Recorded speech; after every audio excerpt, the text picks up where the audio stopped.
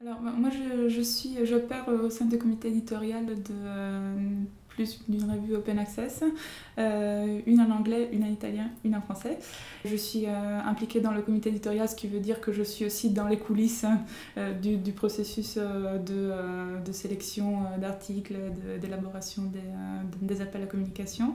Il s'agit, d'après mon expérience, d'un processus éditorial qui est extrêmement bien suivi et extrêmement détaillé, des relectures jusqu'aux opérations plus de coulisses comme euh, voilà, le, le, retour de la part même, des, membres du comité et, euh, ensuite euh, les derniers stades de, publication.